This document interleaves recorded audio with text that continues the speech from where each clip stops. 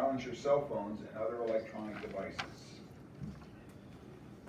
There was an executive session at six thirty prior to this meeting to discuss a student matter. Uh, Mrs. Collins, I'd like to just let you know that all board members are present. And I would just publicly like to welcome uh, Sylvan Hershey, our newest board member. He was sworn in uh, last Friday uh, here in the administration building, so he took his seat tonight, and so we now have a full um, nine-member board. Would everyone please rise for the pledge of allegiance? pledge allegiance to the flag of the United States of America and to the republic for which it stands, one nation, under God, indivisible, with liberty and justice for all.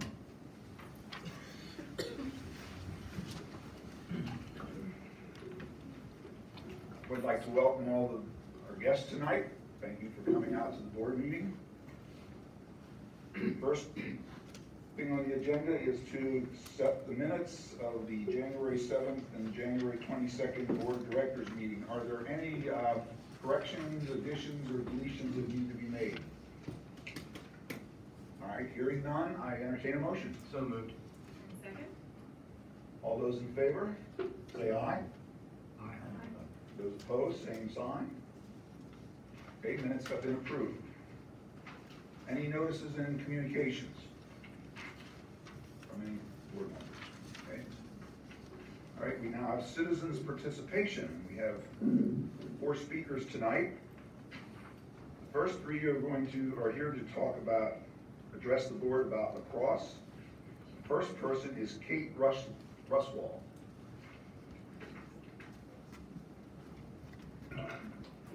Good evening, Kate.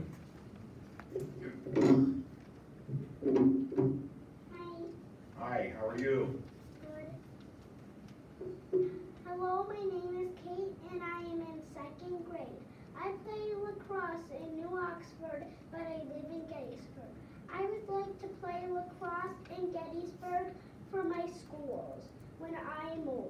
I think it is lots of fun. One reason is because it gives people lots of exercise by practicing for games and running around to get our legs warmed up. Another reason is it is really fun, eh, fun to practice at home. Please add lacrosse to Gettysburg schools. Thank you, Kate. Uh, next, speaking of, again about lacrosse, Melissa Stipp. Did I get that right? Yep, that's correct. Okay. Good evening. So, uh, my husband and I are here tonight. We're, we have three kids in Gettysburg Area School District, two high school students and one soon-to-be middle schooler. We're extremely happy with the education our kids get here in Gettysburg. Wonderful, wonderful place to live, wonderful place for our kids to go to school. Um, we would like to respectfully request that the board investigate adding lacrosse. In our household, all three kids have shown an interest. As far as structure for a team and teams to play, it appears at least forty percent of schools in PIAA District Three already have lacrosse teams based on our review of the PIAA website. In terms of developing a pipeline of younger kids to play, GMF, Gettysburg Midget Football, has already expressed an interest. So someone like Kate would have an opportunity to play closer to home. In terms of the community, we started a petition last Monday, and there are already 70 signatures requesting lacrosse to be added to the program. So again, we would just like to respectfully request that you consider adding it. Thank you. Thank you. Again, on lacrosse, Jason Stipp. Hi, good evening. Good evening. I'd just like to reiterate what uh, my wife said. Uh, We, our, our kids are getting a great education here. They have a tremendous uh, number of opportunities, both uh, educationally and uh, on extracurriculars. Uh, We, we do think there's always room for improvement. I think in the athletic department, um, having more choices, especially in spring sports, um, is something that should be considered.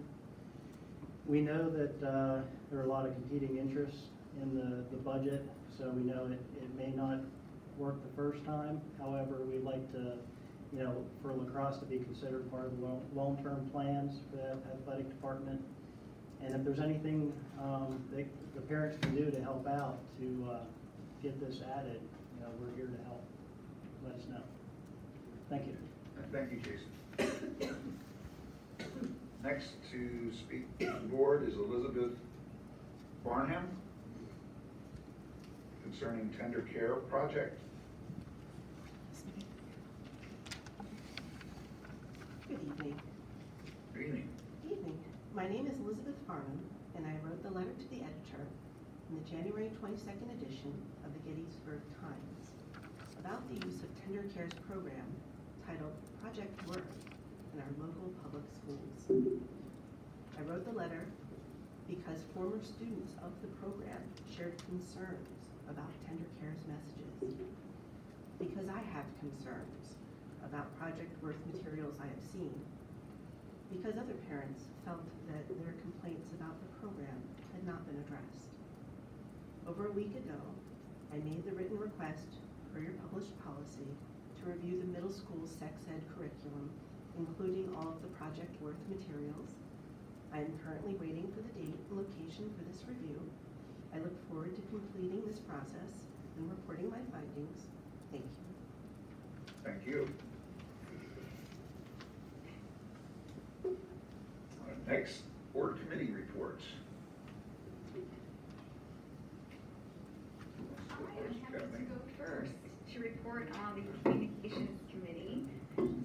We met on January twenty-third, and Andrew Robinson, our Communications Coordinator, did a terrific job in updating all of the board and Friday report on the outcomes of that meeting. So I'm not going to repeat what you've already read in the email, but I will ask something of you instead.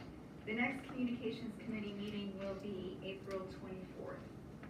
Uh, At this meeting, an agenda item will be selecting the committee meeting dates for the next fiscal year. In light of this, I'd like to ask you to think about the necessity of a communications committee.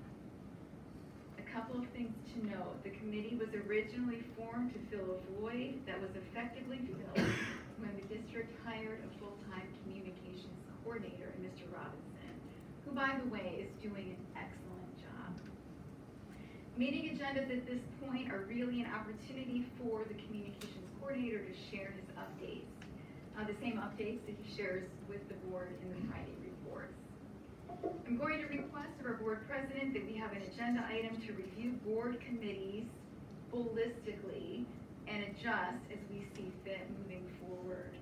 With having a professional communications coordinator, I feel we're in a very good position to have this conversation. That is my report. All right, thank you, Kathleen. Mr. President, the Finance Buildings and Grounds Committee will meet on the third Thursday of the month, which is February twenty-second, twenty-first, excuse me, First. twenty-first.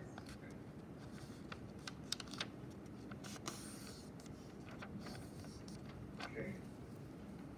Jason, it's your turn. Sure. Good evening.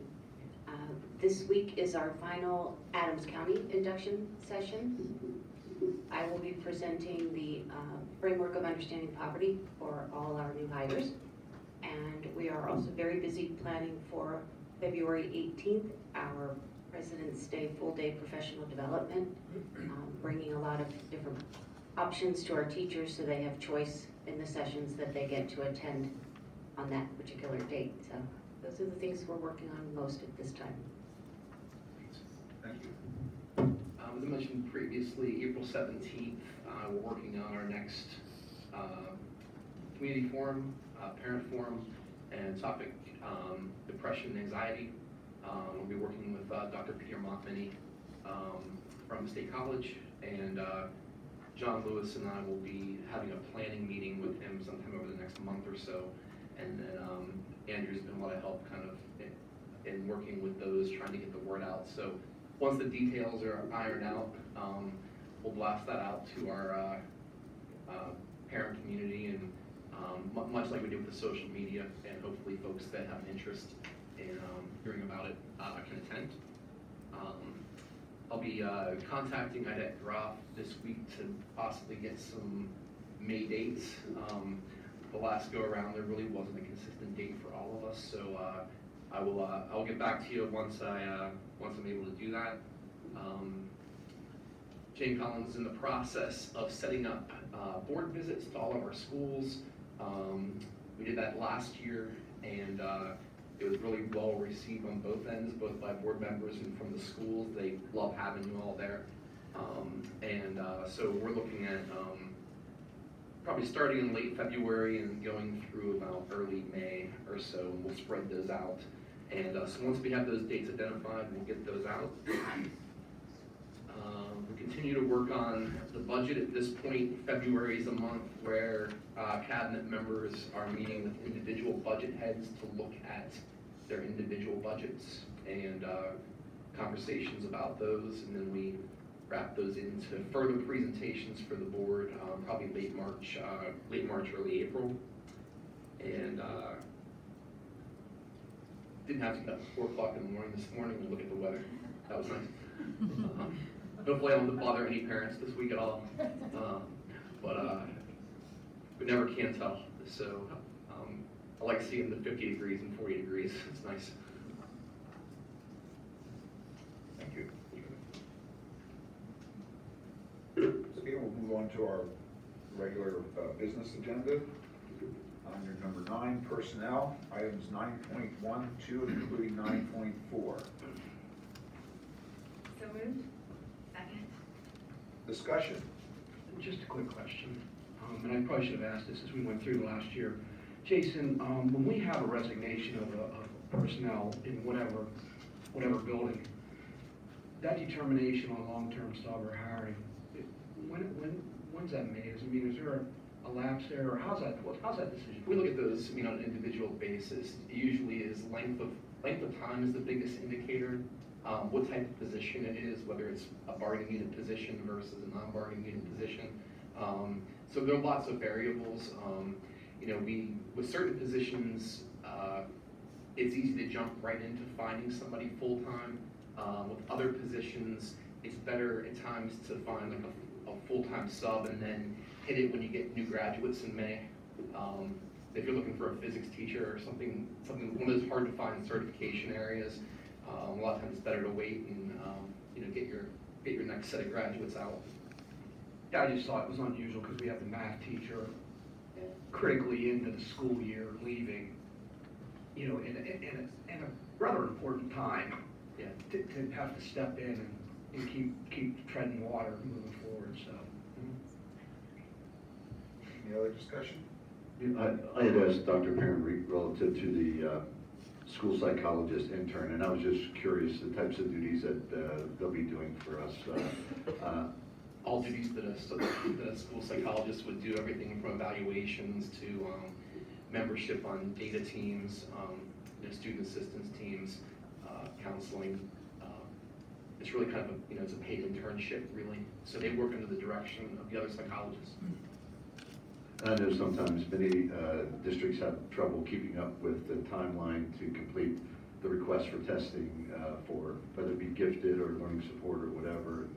Um, Just curious about those kind of numbers at some point, but thanks. Anyone else? All right, hearing no more discussion, and we'll take the vote. Kathleen? Yes. Carrie? Yes. Mike? Yes. Alice? Yes. Kenny? Yes. Jim? Yes. Al? Yes. Sylvan? Yes. And I vote yes. Next, we have twelve, policy, item twelve point one, student expulsion. So moved.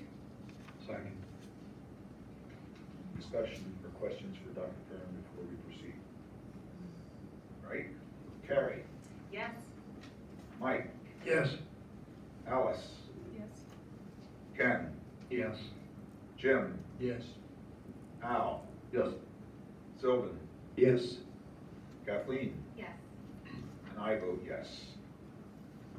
That takes care of all our business items for tonight. And next is information items, anything for the good of the order. tonight. Just a reminder that as soon as we adjourn, we are going to have our pictures taken for the website and the yearbook. So be ready for that. And our next board meeting is scheduled for February nineteenth, twenty, uh, twenty nineteen at seven o'clock. Again, appreciate all those of you that came out tonight. Thank you. And we stand adjourned.